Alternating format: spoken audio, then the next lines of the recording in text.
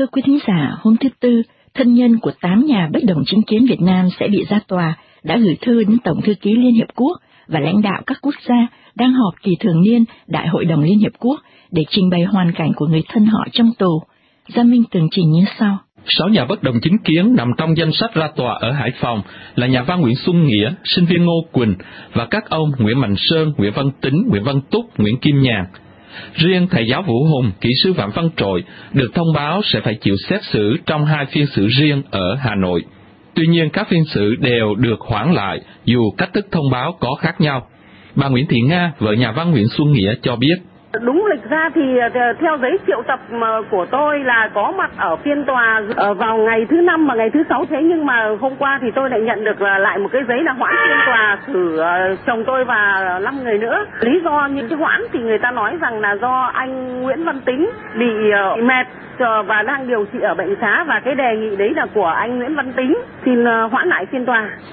Luật sư Huỳnh Văn Đông, người nhận bào chữa cho kỹ sư Phạm Văn Trội trong phiên xử dự kiến diễn ra hôm nay ở Hà Nội, trình bày. Tôi ờ, trong ờ, phòng ờ, của thẩm phán và người ta nói là phiên tòa bị hoãn lại vì lý do khách quan là đó các việc các tìm các riêng quyền công tố có những công việc chồng chéo nhau cho nên không thể tham gia được và hiện nay người ta tập trung vào để xét xử những vụ án lớn hơn vụ án của tôi còn nguyên văn thẩm phán là như thế À vâng và thông báo bằng miệng, đương nhiên là thông báo bằng miệng không có một cái văn bản nào cả. Bà Lý Thị Tuyết Mai, vợ nhà giáo Vũ Hùng, cho biết việc hoãn phiên xử chồng bà vào ngày mai. Qua con lên trên tòa thì vì anh tranh án tòa án đấy anh ấy nói là hoãn vụ án này Và họ có cho biết lý do gì không thưa bà? Chưa, họ chưa cho biết lý do gì, họ chỉ nói là hoãn cứ cứ đi về đi. Tại hôm qua lên để xin cái giấy mời được về vào dự phiên tòa, nhưng mà người ta nói là như vậy. Nhân dịp ông Chủ tịch nước Việt Nam đến New York tham dự kỳ họp thường niên Đại hội đồng Liên Hiệp Quốc năm nay, thân nhân của tám nhà bất đồng chính kiến vừa nêu cũng cùng ký tên vào bức thư gửi cho ông Tổng thư ký Liên Hiệp Quốc và những vị nguyên thủ quốc gia khác đến tham dự kỳ họp. Lý do của việc làm đó được các thân nhân những nhà bất đồng chính kiến nêu ra.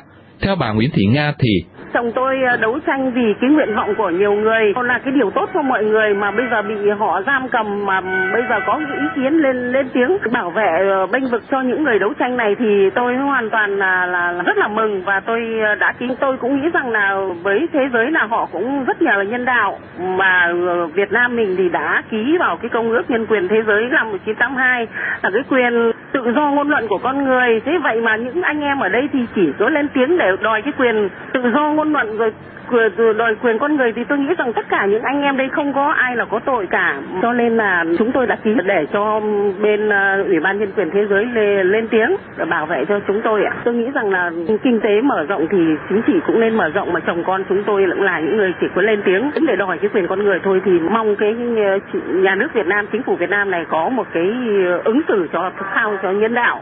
Bà Lý Thị Tuyết Mai, vợ thầy giáo Vũ Hùng cũng cho biết. Tại vì tôi thấy những cái công việc mà chồng tôi đã làm hầu như là tôi thấy nó cũng không có cái gì đáng là phải vi phạm về pháp luật cả. Mà chồng tôi bị bắt lâu như thế hơn nữa lại gia đình đều không được gặp. Từ khi bắt đến giờ là hơn một năm rồi một năm uh, mấy ngày rồi đấy. Bốn ngày rồi mà gia đình không được gặp mặt không có một thông tin gì mà gia đình không hề hay biết ừ, xem tình hình sức khỏe của chồng tôi như thế nào cả. Nên là tôi thấy như thế là nó không đúng.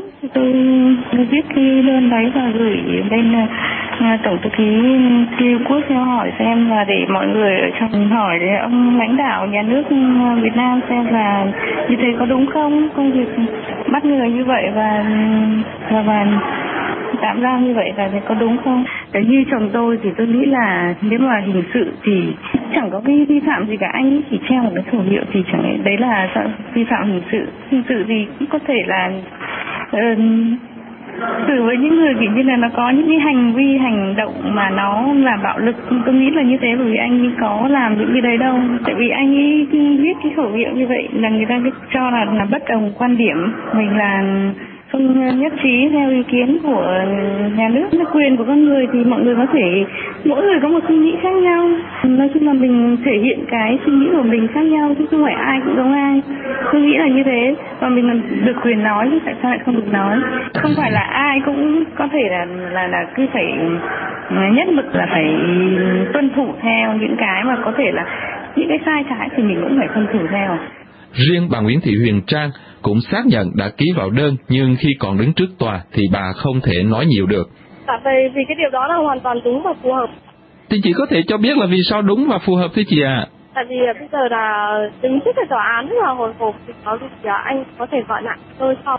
Thân nhân của tám nhà bất đồng chính kiến ký tên trong bức thư gửi đến Tổng thư ký Liên Hiệp Quốc nói rõ là người nhà của họ không hề có tội gì khi lên tiếng kêu gọi bảo vệ toàn vẹn lãnh thổ, lãnh hải cho Việt Nam, cũng như đòi hỏi tự do dân chủ nhân quyền. Những người viết đơn cho rằng những hoạt động mà người thân của họ làm trước khi bị bắt hoàn toàn đúng hiến pháp nước Việt Nam.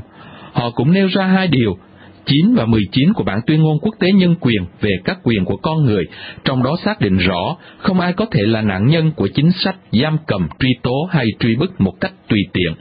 Xin được nhắc lại, tám nhà bất đồng chính kiến dự kiến bị đưa ra xét xử, bị truy tố theo Điều 88 Bộ Luật Hình sự với cáo buộc chống lại nhà nước Cộng hòa xã hội chủ nghĩa Việt Nam.